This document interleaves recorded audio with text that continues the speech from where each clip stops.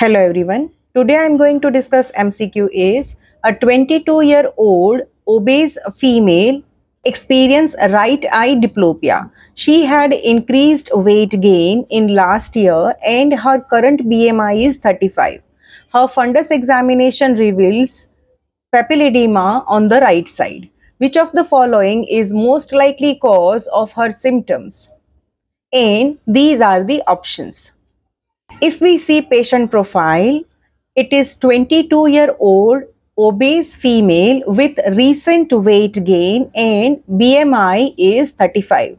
This is the classic demographic for idiopathic intracranial hypertension.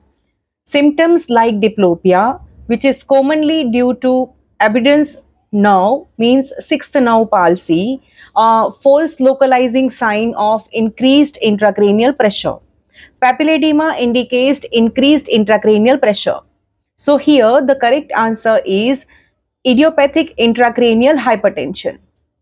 Thank you so much.